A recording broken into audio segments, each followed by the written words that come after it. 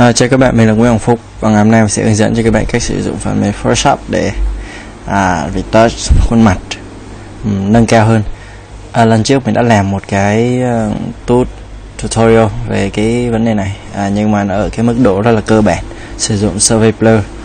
À, tuy nhiên thì nếu như các bạn để ý kỹ hoặc là các bạn khó tính hơn chẳng hạn thì à, bạn sẽ vẫn thấy nó có một chút nó hơi bệt bệt trong phần màu da thì hai sẽ sử dụng một chức năng khác và nó sẽ tạo được cái độ chi tiết uh, tốt hơn nhiều.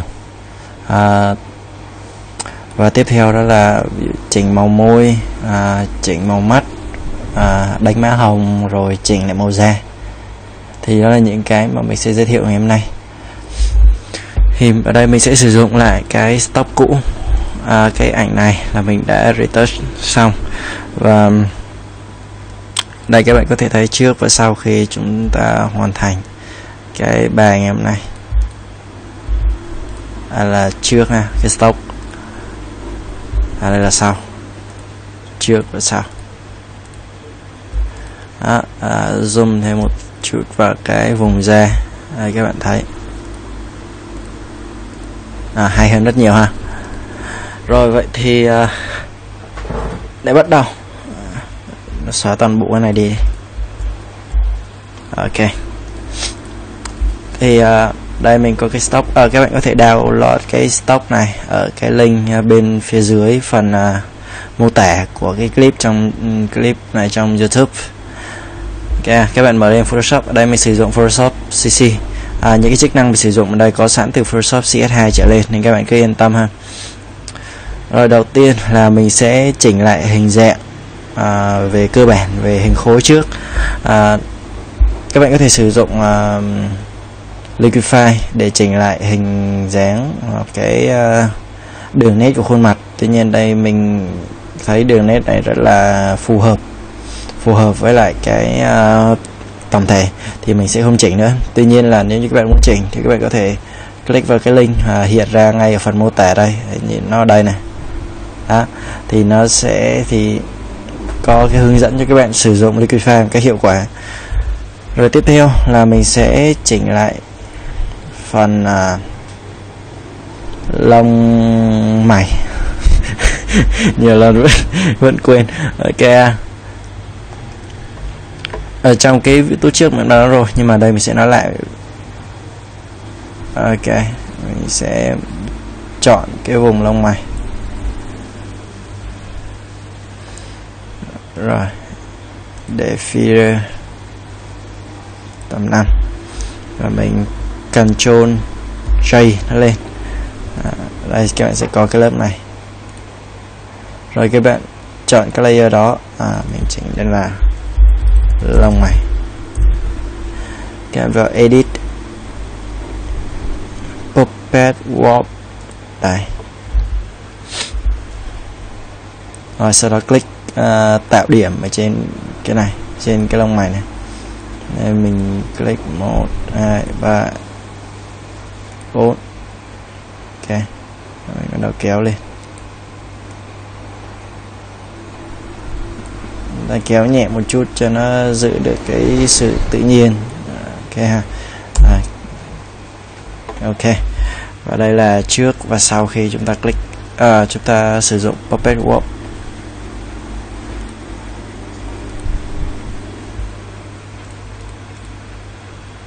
Chưa được đẹp lắm như vậy? Làm thêm lần nữa ha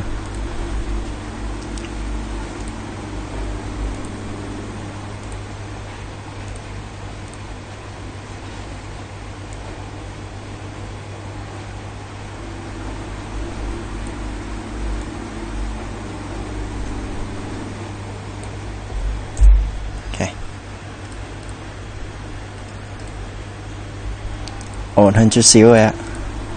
Ok mình sẽ để như thế này.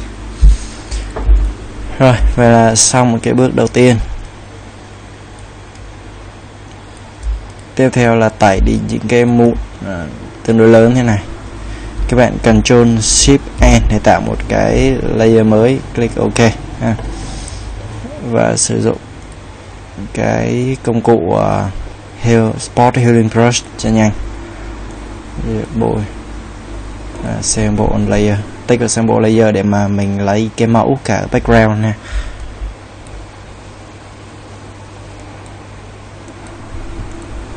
xin lỗi máy mình kỳ này hơi chậm.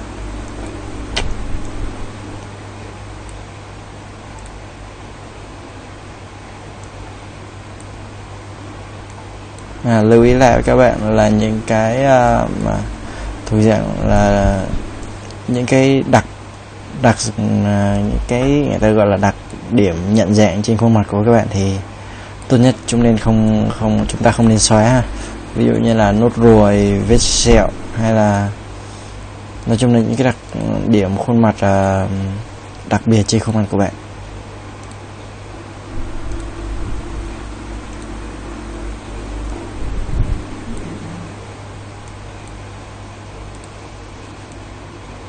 Này, cái nốt ruồi đây là mình sẽ không xóa ha. Ok à. đó là cơ bản. Ok à, tiếp theo mình sẽ chỉnh lại cái à, da mặt cho đỡ sần sùi. Và lưu ý với các bạn là với cái uh, quy tắc của mình khi đã chỉnh cái lớp da thì luôn luôn chúng ta để lại làm sao để giữ lại được tối thiểu là những cái vân da những cái này là những cái mà làm cho bức ảnh của chúng ta trông thật sự là tự nhiên, bởi vì nó làm cho chúng ta nó trở nên nó hơi sần sùi, bởi vì da người lúc nào cũng phải như thế rồi. Chứ không có kiểu như là nó nó nó trơn láng hẳn đi nhìn thật không khác gì búp bê cả. Nhìn thấy đôi lúc nó không có hay. Thì à, ở đây mình sẽ sử dụng công cụ apply image. Ok mình sẽ gom hết cái này lại. Ctrl Shift Y mình chắc chắn đã xong rồi ha. Ok các bạn sẽ bấm Ctrl J hai lần. Một lần hai lần. Nó sẽ tạo ra các uh, layer con như thế này. Ok à, ở đây cái layer này thì mình sẽ sử dụng làm trơn láng cái khuôn mặt. Sử dụng trơn láng khuôn mặt ha. Còn layer này mình sẽ lấy chi tiết về những cái vân da. À, cái uh, cái này mình mới học được là từ một cũng ở trên youtube của Fleur mình cảm thấy rất hay. À, mình thực sự là trước đây mình cũng đã sử dụng cái này nhiều rồi. Nhưng mà cái áp dụng mà có cả cái blur như cái blur thì mình mới học được thì cảm thấy nó hiệu quả nó nâng cái hiệu quả hơn rất nhiều. Mình sẽ giới thiệu với các bạn. Ok. À, đầu tiên là mình sẽ như đã nói à cái cái này cái layer này. À, mình sẽ gọi là layer blur. Đi cái này texture à, cái này sẽ lấy chi tiết. Còn cái vùng này sẽ làm cho da nó trở nên láng mịn hơn ha. Ok à, mình sẽ tạm thời tắt con mắt này là của cái cái vùng chi tiết này đi. Và mình sẽ chọn vào cái layer blur và filter blur Gaussian blur ok mình sẽ chỉnh thông số là bạn cảm thấy nó tương đối phù hợp. Đây mình để 8 chấm. Xong và bật tiếp cái texture này lên. Và image apply image rồi cái apply image này thì nó có tác dụng là sẽ um, nó dạng nó giống như kiểu một cái blending mode nhưng mà nó thuộc dạng nâng cao hơn. À, nó sẽ áp dụng chế độ hòa trộn giữa các layer với nhau thì ở đây uh, layer mình sẽ lấy layer blur. Lý do là mình uh, muốn cái uh, cái vân của mình nó chỉ lấy vân cái vân da ở những chỗ thật sự là nó nổi bật hơn so với những cái vùng vân da còn lại. Thì nếu như mà mình không chọn cái blur này mà mình chọn những cái khác thì nó sẽ làm cho cái bức ảnh nó sẽ lấy nét từ uh, tất cả các layer khác và làm cho nó thực sự rất là gắt ok ha mình sẽ lấy chọn blur ha. Và blending các bạn chọn subtract. À, loại bỏ tức là loại bỏ những cái vùng mà nó nhòe và nó không có thật sự nổi bật hơn những chỗ khác. Còn cái offset scale cái mặc định hình như nó sẽ để không. À, các bạn chỉnh lên ở khoảng 120 tới 130 thì đây mình để 125 chẳng hạn. Thì ở cái khoảng này thì nó sẽ để lại những cái vùng chi tiết mà mình cảm thấy nó tốt nhất. 30 đi. Ok. Click ok. Xong sau đó các bạn chọn linear line để nó giữ lại những cái ờ, uh, đó là lấy lại những cái vùng uh, vùng biên. Nó thật sự nó khác biệt và nó tạo cho cái hình của chúng ta trông nó nó nó giữ lại những cái vân da cái vùng sáng cái vùng xém mà các bạn thấy vừa rồi nó sẽ giảm bớt đi à, quay trở lại đây một chút xíu. Ở đây các bạn sẽ trông nó rất là giống như là một cái chức năng có sẵn của Photoshop à, high pass. Nhưng mà thật sự thì high pass à, khi chúng ta sử dụng như mình đã nói thì nó giống như là kiểu chúng ta không có chọn cái uh, hòa trộn với lại blur mà hòa trộn với tất cả luôn trong đó có background. Thì cái background thì nó có chứa tất cả những cái vùng chi tiết rất là rõ ràng chứ nó không có như blur là nó chẳng còn gì cả. Cho nên là cái bức ảnh của chúng ta nó sẽ tạo nên cái độ, độ nét rất là gắt và nó không hay ok ha. Rồi cho chọn là linear line à, ở cái này nó sẽ tạo cho cái độ chuyển nó rất là mượt và nó giữ lại những thứ thực sự cần được giữ. Ví dụ như ở đây là những cái vùng à, vùng mắt à, vùng lông mi à, lông mày. Ấy lông mày đúng rồi. À, và những cái vùng vân da nó nổi lên như thế này. Vùng vân da là những vùng vân da dễ thấy và nó chúng ta nên giữ lại ok. À, tiếp theo là chúng ta sẽ làm cho nó trơn mượt hơn. Vừa rồi ở cái blur thì chúng ta đã làm cho nó nhòe rồi nhưng mà đây mình vẫn thấy nó chưa đủ. Và mình sẽ tạo hoành tường vùng. À, các bạn sẽ chọn công cụ laser tool và bôi trực tiếp vào blur luôn. Bôi trực tiếp vào cái layer blur này ha. À, ví dụ đây mình sẽ chọn vùng này để chúng ta làm nhòe à, để feeder tầm 20 nhớ chỉnh trên này ha chứ không phải click chuột phải chọn feeder này đâu. Bởi vì cái feeder này thì nó tạo cho cái từng vùng à, mỗi lần chúng ta khoanh chúng ta là phải chuột phải feeder thì nó rất là mất thời gian. Chúng ta ghi luôn cái feeder trên này là thông số chúng ta muốn thì để cứ mỗi lần khoanh vùng nó set sẵn chúng ta là 20 rồi. Ok ha. Rồi các bạn vào filter blur. Gaussian blur. Và chọn thông số các bạn muốn bạn sẽ thấy nó có sự biến biến đổi này. Là lúc đầu ha đầu tăng lên. Sẽ khác đi ha nó nhòe bớt ra. Ok à, click ok. Rồi những cái vùng khác các bạn làm tương tự cứ khoanh vùng và làm như vậy. Chàng không khác gì cả. Phải filter blur. Gaussian blur. Và tăng lên cái số các bạn muốn. Rồi các bạn vẫn thấy cảm thấy nó rất là tốn thời gian ha thì chúng ta còn một cách nữa hay hơn. À, thay vì mỗi lần khoanh vùng xong và filter rồi blur rồi Gaussian blur rất là tốn thời gian thì chúng ta sẽ gán cho cái chức năng blur này Gaussian blur này một cái à, phím tắt ta dễ thực thể dễ thực hiện hơn. Thì để làm được cái việc đó thì các bạn vào vào edit keyboard shortcut đây ha. Edit keyboard shortcuts click vào.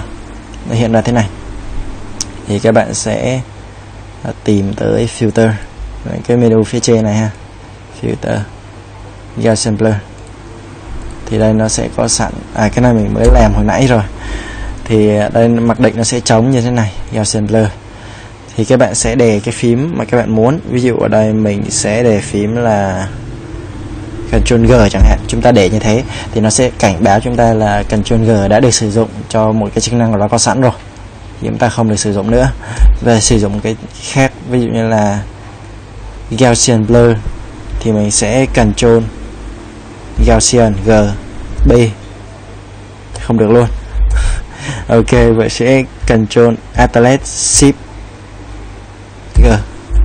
Ok, nó không báo nữa, như thế là ok ha. Các bạn Ctrl Atlas Shift G.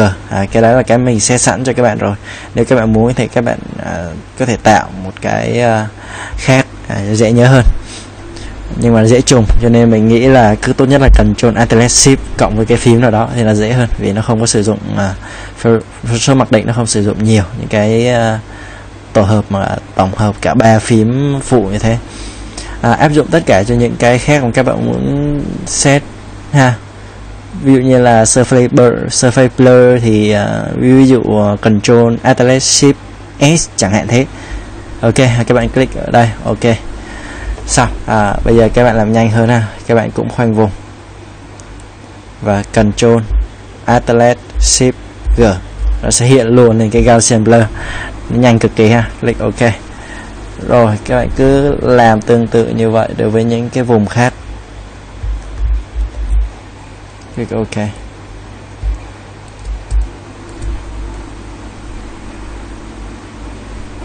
À, cái chức năng này sẽ tạo cho chúng ta cái độ chuyển cực kỳ mượt mà và nó không có bị gắt.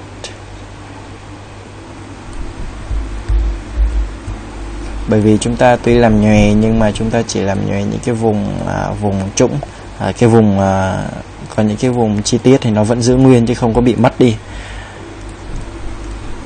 à, các bạn có thể thấy nó thay đổi rất ít và các bạn muốn đẩy mạnh thêm. Nhưng mà mình khuyên chân thành là như vậy đó là rất mạnh rồi. Bởi vì là có những cái thay đổi rất nhỏ. À, chúng ta khó thấy nếu chúng ta không có bật tắt thử trước và sau khi chúng ta áp dụng. Ok ha. À, đây các bạn có thể thấy. À, mình sẽ gom nó lại. À, chọn hai cái này ha. Ctrl G. Và để nó là retouch ra mặt thì đây là trước và sau khi chúng ta làm những cái bước vừa rồi. À, các bạn có thể thấy trước và sau khi. Đó nó cái lúc nào chúng ta có thể cảm thấy nó nó chuyển biến rất là ít. Nhưng mà khi chúng ta bật tắt thế này chúng ta sẽ thấy rõ là nó đã biến chuyển rất là nhiều. À, chúng ta cứ tiếp tục à, làm như vậy cho tới khi nào các bạn cảm thấy nó vừa ý. À, Control Atlas Shift G nhớ là cái cái cái đây đã được là do mình set sẵn ha Shift G. Nếu các bạn không cần chọn Atlas Shift G mà theo một cái uh, ý muốn riêng các bạn các bạn đã set uh, ở trong edit keyboard shortcut đó thì các bạn click cái đó và đặt thông số Gaussian blur cho cái vùng các bạn đã chọn.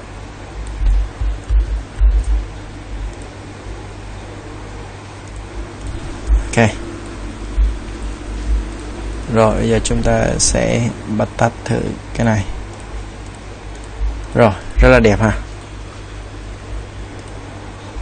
Này muốn cho nó mượt kêu chỗ này hơn.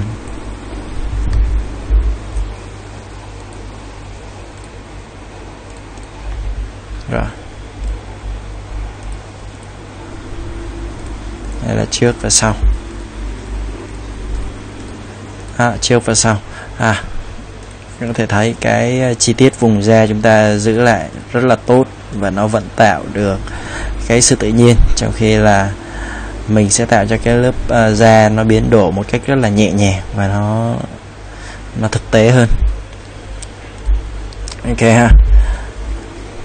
Rồi tiếp theo à, mình sẽ chỉnh lại sáng cái độ sáng cho da. À, các bạn ở đây mình sẽ sử dụng selective color. Các bạn chọn đây ha. Adjustment chọn selective color. À, thì trên da mặt của người châu Á thì đa phần nó là màu gồm màu đỏ và màu vàng. Thì mình sẽ tác động vào hai kênh này thôi ha.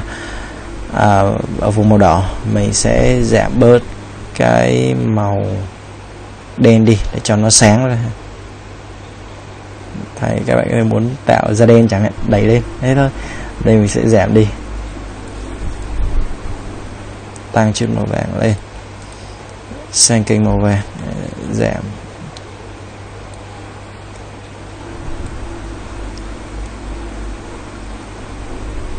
Tăng chút xíu màu đỏ. Ở à, cái cyan này thì nó ngược với màu đỏ cho nên nếu chúng ta giảm cyan đi thì chúng ta sẽ tăng màu đỏ lên.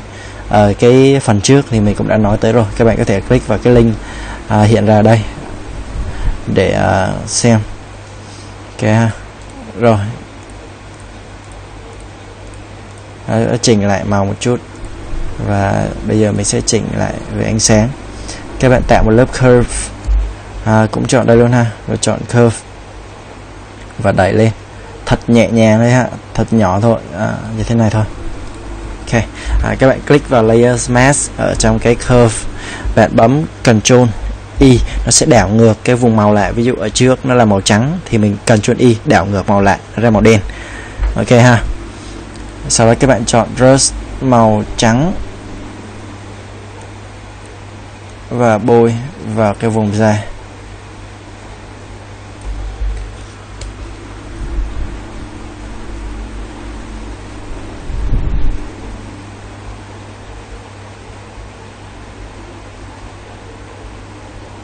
Đừng quên thân người ha. Nếu không lại xảy ra tình trạng là thân người thì đen mà cái mặt thì trắng. Rất là kỳ.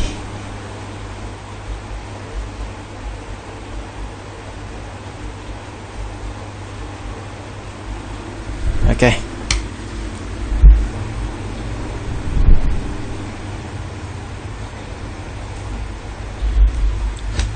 Rồi ok. À, xong. À, mình sẽ group hai cái này lại. Ctrl G để group hai cái lại ở đây các bạn có thể thấy màu da chúng ta đã sáng hơn rất nhiều rồi. Ở đây mình không nó chỉ không có cho thành uh, da màu hồng. Thật sự nó hồng bởi vì chỉ đơn đơn giản là chúng ta làm cho nó sáng lên. Đơn giản là sáng lên thôi ha. Thì tự khắc những cái màu có sẵn trên mặt chúng ta sẽ làm cho nó hòa lại và cái màu đỏ nó sẽ nhạt bớt đi và tạo ra một màu hồng. Đó là tự nhiên các bạn có thể thấy là mình không có thêm thêm màu hay là bôi thêm một lớp màu nào vào cả.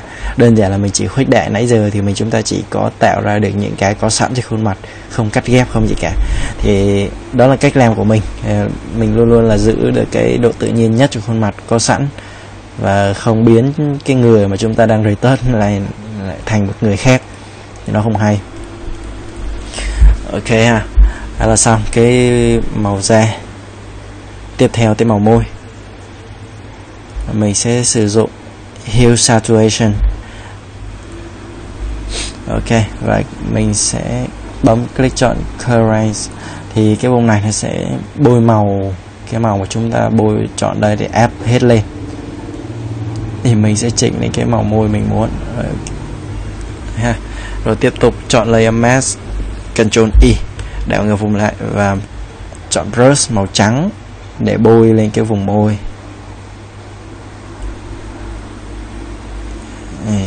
Cái brush của mình nó đang bị lỗi. Cái brush nó lúc to lúc nhỏ khó chỉnh quá.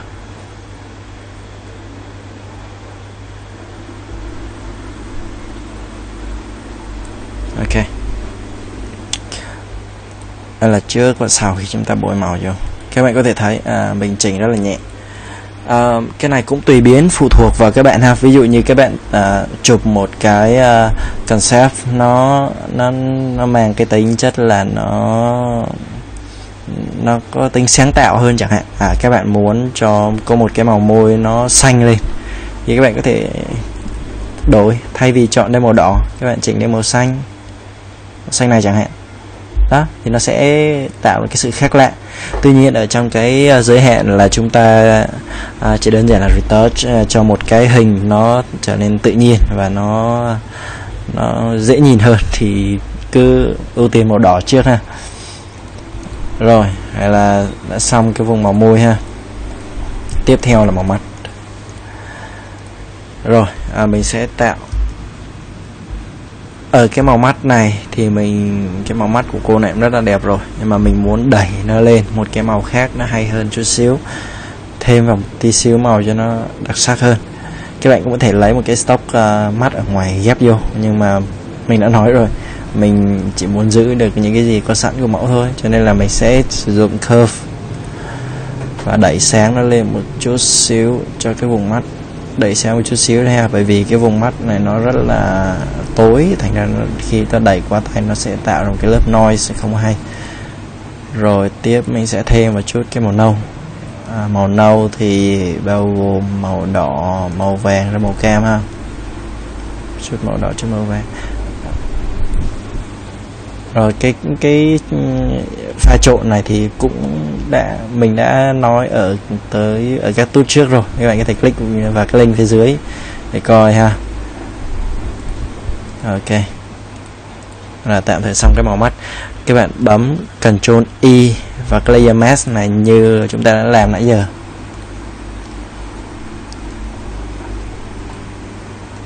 Và bôi màu trắng lên cái vùng mắt. Rồi à, đây mình bôi xong rồi. À, các, các bạn có thể chỉnh thêm.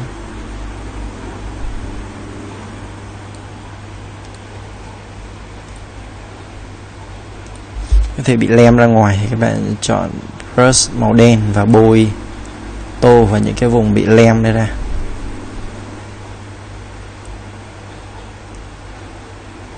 Sắp tới có lẽ mình sẽ up lên Photoshop ừ, CC 2014 cái bản của mình đang gặp lỗi rồi. Cái brush nó lúc to lúc nhỏ, không hiểu làm sao nữa. Ok, đây là trước và sau khi chúng ta làm. Cái màu mắt nó đang có sự biến đổi rồi, nhưng mà rất là nhẹ. Nếu muốn các bạn có thể tăng cái màu sáng lên.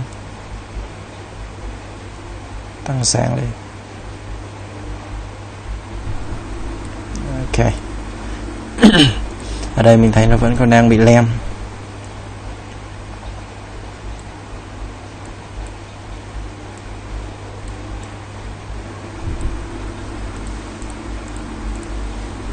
ok xong à, tiếp theo là tới đánh má hồng chút xíu ha. Các bạn sử dụng curve luôn ha. Mình cũng sử dụng curve thôi. Curve à, tăng màu đỏ lên một tí xíu. Blue giảm màu xanh đi để chúng ta tăng màu vàng lên. Nó ra hơi chút màu cam green à, mình sẽ thêm chút à, màu tím tím vào nữa. Nó ra nó sẽ ra được cái màu hồng ok. À, các bạn cũng Ctrl Y e. để ta tắt hết đi. Và chọn brush màu trắng để chúng ta bôi. Ở cái vùng má. À, à, mình không làm cái này nhiều. Là cũng hơi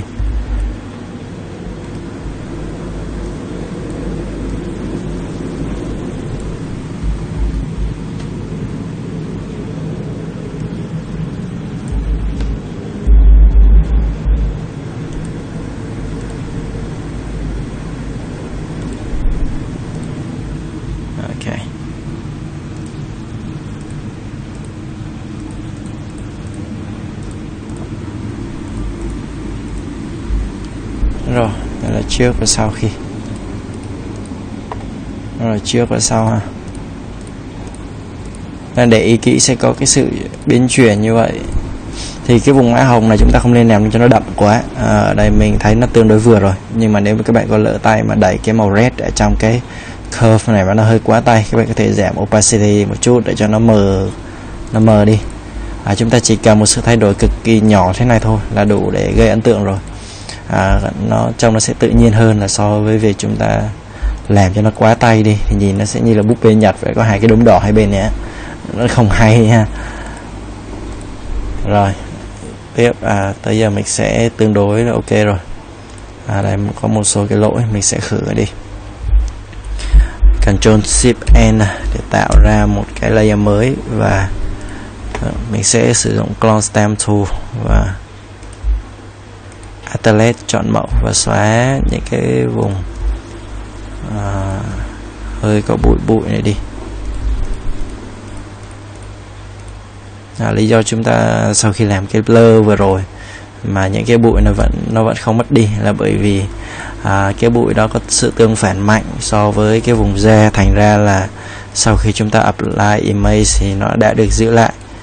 Do đó là các bạn có thể để ý là mặc dù chúng ta Gaussian blur à, tùy theo vùng đó cái lúc mà chọn cái này nè và chọn vùng đó các bạn có chọn lem và tóc hay là lông mày một chút xíu cũng chẳng có vấn đề gì cả. Đơn giản là bởi vì cái đường nét đó chúng ta tạo à, chúng ta nãy giờ chúng ta quét chọn và tạo sự Gaussian blur ở cái vùng này. Còn cái vùng chi tiết nó nằm đè lên phía trên. Thành ra là chúng ta chỉ tác động vùng này thì vùng chi tiết nó vẫn được giữ nguyên. Thì đó là một cái à, lý do và rất là rất là hay ha. Tiếp à, cái vùng môi này nó hơi bị thâm. À, ở đây chúng ta sử dụng clone stamp tool thì nó sẽ không hay bởi vì đây có những cái đường vân ra thì sử dụng clone stamp tool không cẩn thận thì nó sẽ làm cho cái bức ảnh chúng ta nó có sự biến đổi ở đây nó sẽ không hay. Nên mình nó hơi thâm thế này mình nghĩ là mình sẽ tạo sáng lên một chút là ok rồi. Đẩy sáng lên chút xíu. Rồi Ctrl Y tạo này và chọn brush màu trắng.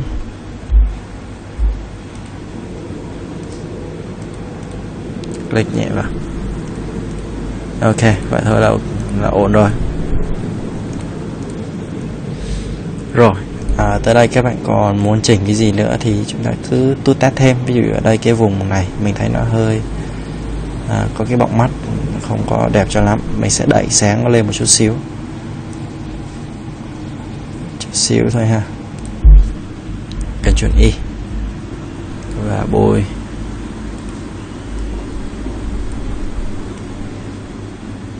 Một chút vào đây.